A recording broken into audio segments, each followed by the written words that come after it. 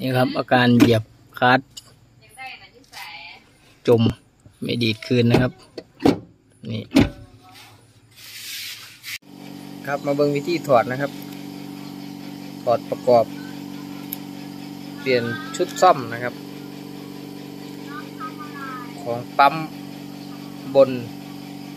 ปั๊มบนคาร์ดรถตู้นะครับโตโยต้านะครับ นี่ รถตู้โตโยต้านะครับนะครับตัวนี้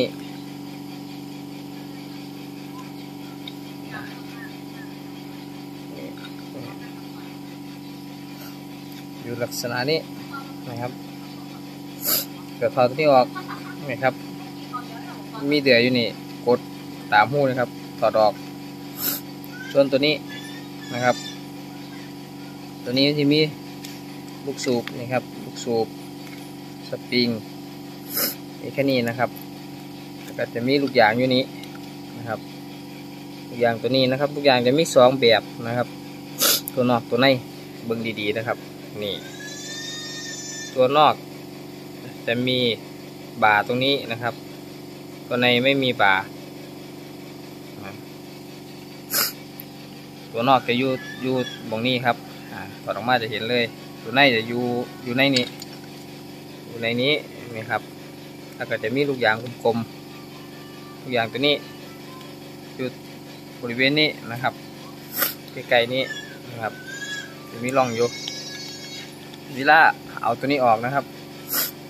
ถ้าเอาตัวนี้ออกให้เขาตอกตัวนี้ออกครับนี่มีสลักอยู่นี่ช่องโตตอกออกนะครับ ตอกออกได้เลยนี่ เป็นตะปูสองตัดปลายแล้วก็ตอกออกเลยนะครับตอกออกนะครับ จะมีลูกยางสามตัวนะครับหนึ่งชุดแล้วก็นี่ครับกระบอกสูบสปริงนะครับสองร้อยกว่าบาทครับตัวนี้เดี๋ยวมารับชมกันเลยครับ ในคลิปต่อไป นี่ครับ ใช้เบรกนะครับ ไล่ลม ไหลลมแทนนะครับนี่